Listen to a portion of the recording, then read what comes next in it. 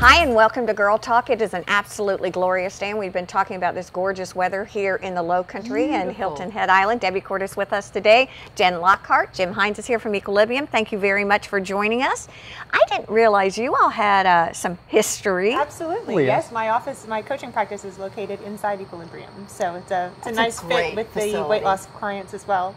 Great. That is a good fit. It Yeah. is. Good sometimes, Sometimes you need that little extra help. You know, there's a lot of Mm-hmm. times there's an, an emotional root to overeating, and so there's some cases I can help out with that. Y'all were talking before we started filming. You were talking over there and just about summer coming on Yes. and Not eating to- habits. How, how to avoid the pitfalls. Um, you know, particularly I think for anyone, it's an issue in the summer, just with picnic food and things like I was going to say the corn on the cob and the ice cream Oh, pitfalls. yeah, absolutely. And then we were talking particularly about people with young children. Yeah. You know, because you just next thing you know, two thousand calories later, and a jug of goldfish and Mm-hmm. hot dogs, and you know all the things that kind of mean summer, but don't necessarily help your waistline. Are you all about moderation?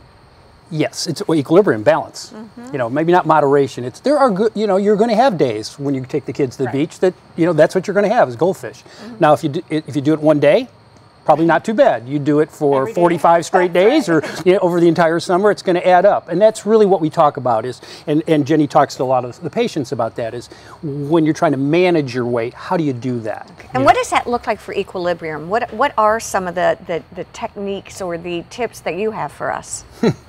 well, I, I- again, I try. it's if- it's an ind- an indulgence is something you do rarely. When it become when you start to do it every day, now it's a habit, and you have to really stop and think, how am I behaving?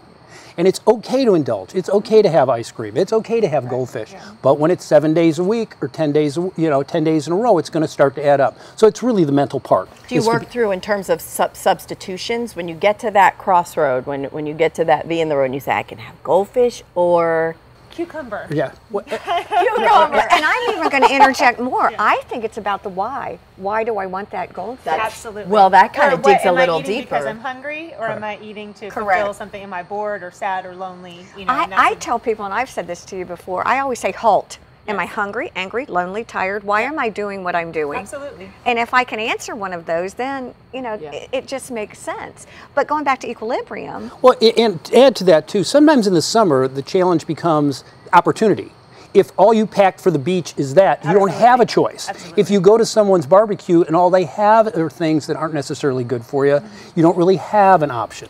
But you know, let's be honest. Most of the time when I do go to barbecues or things like that, there are there are healthier options Oh, out sure. there. Well, and you Even can bring the one. beach, You know, yes. If Right, you're right. going There- somewhere and you're concerned that there's not going to be anything appropriate to eat, then make a salad and bring it as a Ex- hostess that's exactly what you you're know? saying, And it's that proactivity. Same thing at the beach. You know, if I mm-hmm. know I'm going to be hungry at three o'clock and I'll eat whatever's in front of me, then you know, if you pack, Pack the healthy apples and the pears. Yeah, exactly. Then if that's all you have, the kids will eat it as well. Frozen so- grapes. Oh, frozen grapes. Oh, frozen no, aren't those awesome? I love frozen grapes. love Those are frozen amazing. Grapes. Yes. That. See, to me, too, this time of, of year and heading into the summer, The the farmers yeah. markets and the great produce and just things like that that you can get a little bit more readily, um, that are more readily available. You're a healthy eater. oh, You've always been a healthy eater. I, I kind of give uh, that nod to my mom because nobody, when I was growing up, nobody wanted to switch lunches with me because I had the whole grain bread and I had the apple and Yeah. It was like you know again Debbie Swider always had the Wonder Bread Right. salami she sandwich and the bag of. Fritos Yeah. and I was like oh someday when I grow up I'm gonna eat that Eat white bread every But- day.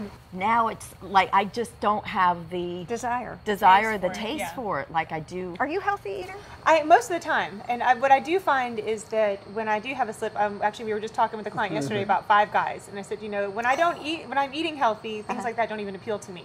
When I'm off the wagon and I'm indulging more, and once you start eating that stuff, you, I personally seem to want more of it. You know, so it's more like, okay, if you're going to have it once, then the next day get back on track. Otherwise, it's going to be two, three weeks, and you've been eating all the time. And that makes sense. We're going to get back on track. We're going to take a break here on Girl Talk. Stay with us. Girl Talk is brought to you by employee owned The Greenery, Stoneworks, Custom Audio Video, and Island Tire and Automotive Services.